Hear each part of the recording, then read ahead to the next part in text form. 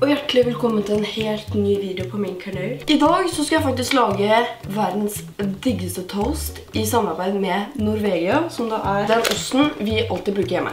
Hvis ikke du bruker denne osten hjemme. Og jeg ble da utfordret av Norvegia og Agnete til å gjøre denne videoen. Og jeg har en helt spesiell oppskrift til toast som dere kan få i dag. Og jeg gleder meg veldig, fordi er det noe jeg vet å lage, så er det toast. Jeg kan lage veldig mye annet. Jeg, vil si jeg er flink til å lage mat, men toast får du ikke bedre hos meg.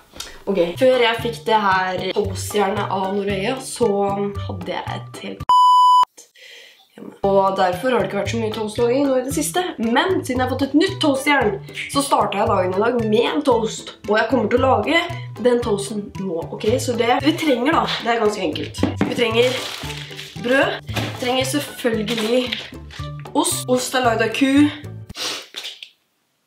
Ja, noe mer enn det kan ikke. Trenger vi også smør for å få en crisp. Min hemmelige oppskrift er ketchup, selvfølgelig. Så jeg skjærer liksom brødskiva mi her. Jeg skjærer to to brødskeiver. Sånn der.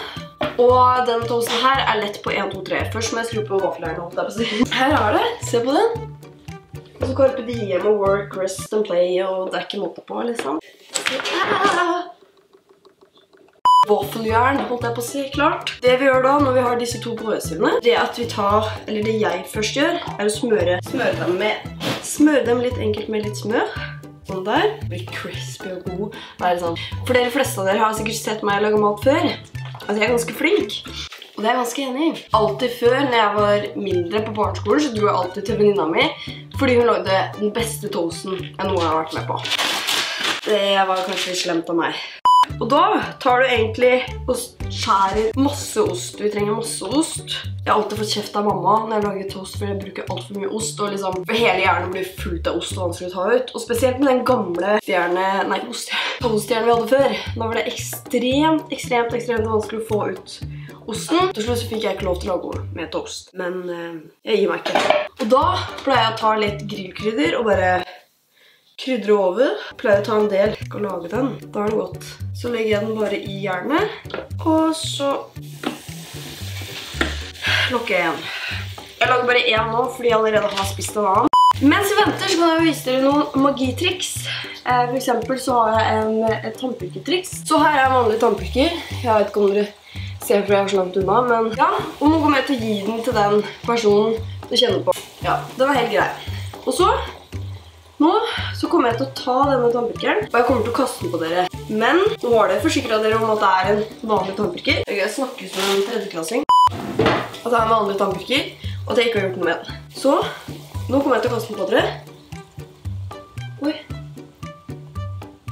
Der var den, gitt. Og... en helt vanlig tannpirker. Jeg har ingenting på hendene. Jeg har ikke noe teip eller noen ting. Er bare, bare min tannpirker. Se her, og det fyker. Hvis noen hadde lurt på hvordan man blir en toastmaker og en tryllekunstner, bare spør meg. Det lukter så godt her, altså. Og det som er så bra med denne toastjernen er at det er sykt fint, og det er liksom... Det som hadde vært litt gøy var å prøve å lage toast av å putte frukt inni toasten sammen med osten, liksom. Nei, det tror jeg ikke vi prøver.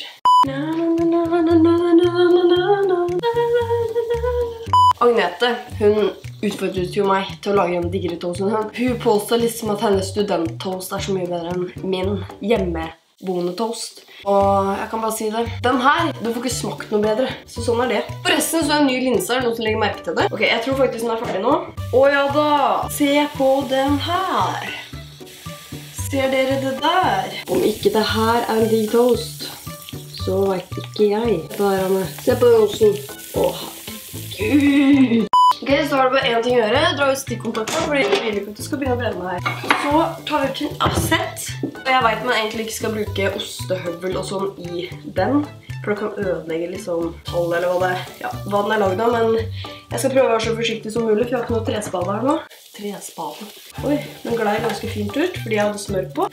Få med all osten er kjempeviktig. Hvis ikke du ville spist den, så vet ikke jeg. Ja, tenk på det. Tenkte at jeg kunne skjære den opp i to, sånn at den ser litt mer delikat ut. Au! Digg toast på 1, 2, 3, og det er helt sant, fordi den her, eh, den der toastmaskinen jeg hadde før, den brukte jo fader meg 100 år, vet du, på å lage en toast. Men den her var jo smekk ferdig på 1, 2, 3. I hvert fall 1, 2, 3 minutter. Åh, så varm. Hvordan greier de dette her på restaurant da? Hvor er den tannpikeren min da? Kanskje hjelper å bruke en sånn her. Og det gjorde det også, vet du. Ok, så nå skal jeg frem og vise deg den digge toasten min. Åh. Nå er det jo bare smaketesten som gjenstår. Altså, det her er jo bare vakkert å se på. Se, så mye god ost. Altså, herregud. Jeg elsker eh, stekt ost. Det er noe av det beste jeg har. Da jeg var liten så pleide jeg å ta bare ost og putte oppi toastjernet. Så det smelta i. Åh, jeg fikk så kjeft av mamma, fordi ja, det var jo så grisete, vet du. Jeg klarer for den første biten.